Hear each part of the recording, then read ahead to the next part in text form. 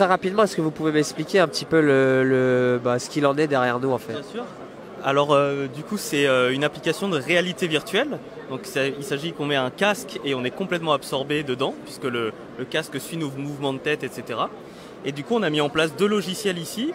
Il y en a un, c'est un, logiciel de plongée où on voit euh, là en l'occurrence une baleine ou des poissons, etc. C'est purement contemplatif. Et à côté on a mis, c'est une frégate française et on peut se balader dedans. Et là c'est un outil de formation qui permet à la fois de visiter et de former les marins dessus. Donc c'est à la fois interactif, à la fois contemplatif.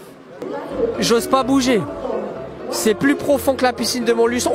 Non, ça fait flipper carrément. Oh, Là, elle arrive l'arrêt là. Eh, eh, faut pas avoir le vertige, hein. Oui, effectivement, il elle est pas encore là. Ouais, franchement, c'est impressionnant pour la première fois. Ah si, elle est là.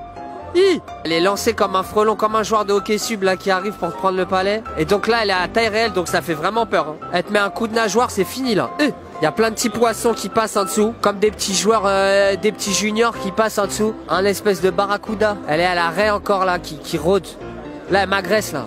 Eh Eh Eh Ah, carrément, ça fait flipper. Pour tout ce qui est euh, sport, admettons euh, apnée, hockey subaquatique, je sais pas si vous connaissez. Je connais, ouais.